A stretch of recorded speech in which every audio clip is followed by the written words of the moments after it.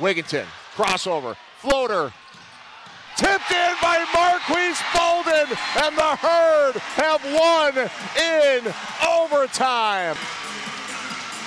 Here's the final look. Wigginton loose inside. The tip though by Bolden with the left hand.